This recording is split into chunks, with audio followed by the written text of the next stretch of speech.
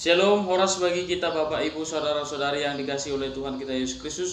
Berjumpa dengan saya Guru Gonggo Pempapa dalam acara Jepek Alay Maripola Firman Tuhan yang ditetapkan pada Kamis tanggal 14 Mei 2020 Yang tertulis dalam Efesus 4 ayat 24 Demikian firman Tuhan.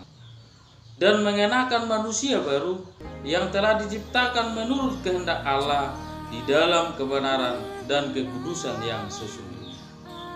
Bapak, Ibu, saudara-saudari yang dikasih oleh Tuhan kita Yesus Kristus, ada dua hal yang kita lihat dalam firman Tuhan. Yang pertama, ada manusia lama, dan yang kedua, ada manusia baru. Apa yang disebutkan dengan manusia lama? Manusia lama adalah manusia-manusia yang berbuat jahat, manusia-manusia yang berada dalam kehidupan yang jahat, yang buruk, yang tidak dikehendaki oleh Tuhan kita Yesus Kristus. Dan manusia baru. Manusia baru adalah manusia yang meninggalkan ke, ke perbuatan-perbuatan jahat, melakukan perbuatan-perbuatan baik dan melakukan perbuatan-perbuatan yang dikehendaki oleh Tuhan kita Yesus Kristus. Maka Paulus menekankan supaya mereka bertransformasi, hidup di dalam Kristus. Hidup di dalam Kristus tentu melakukan kehendak Tuhan kita Yesus Kristus. Apa yang terjadi di dalam Efesus ini? Mereka adalah orang-orang yang percaya kepada dewa kesuburan yaitu Artemis dan juga yang menyembah kepala pemerintahan mereka yaitu Kaisar. Maka Paulus mau menekankan supaya mereka meninggalkan kehidupan yang lama yaitu percaya kepada dewa-dewa dan hidup percaya kepada Yesus Kristus. Apa yang dikatakan Paulus perbuatan-perbuatan yang jahat itu? Misalnya di ayat 28 dan 29 dikatakan orang yang mencuri biarlah dia meninggalkan perbuatannya itu dan bekerja keras dan melakukan pekerjaan-pekerjaan yang baik supaya dia dapat membagikannya kepada orang-orang yang berkekurangan. Orang yang berkata kotor, biarlah dia mengatakan perkataan yang membangun, yang konstruktif, bukan destruktif.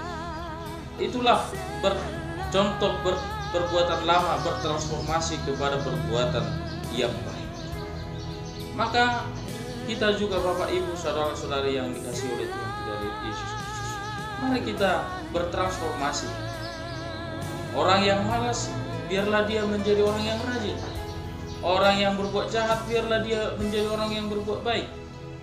Orang yang hidup di dalam iblis biarlah dia bertransformasi hidup di dalam Kristus.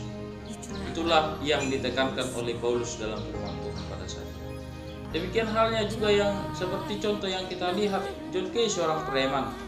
John Kay seorang preman, seorang pembunuh bayaran. Dia mau berubah yang menjadi orang yang hidup di dalam Kristus. Berubah dari perbuatan yang jahat. Demikian juga halnya dalam Kidung Jemaat nomor 40 mengatakan benar anugerah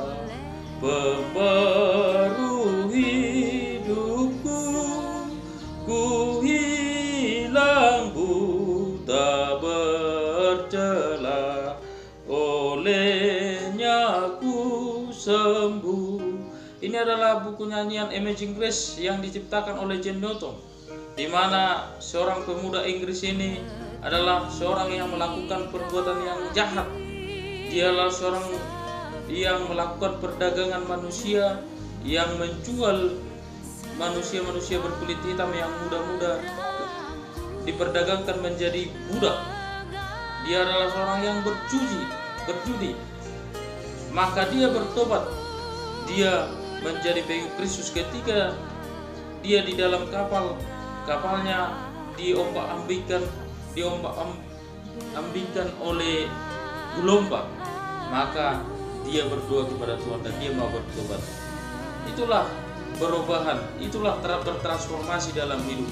Maka dia menciptakan lagu ini yaitu ajaib benar pembaharuan hidup ku hilang buta bercela olehnya ku sembuh artinya dia orang yang berbuat jahat orang yang e, bercela tetapi melalui pembaharuan hidupnya bertransformasi menjadi orang yang berbuat baik orang yang melakukan perbuatan-perbuatan yang dikehendaki oleh.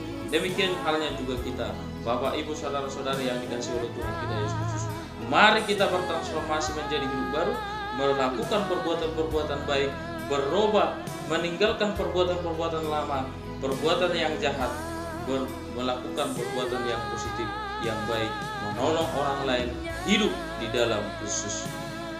Tuhan Yesus memberkati, semangat terus, hidup baru. Amin. Orang selalu.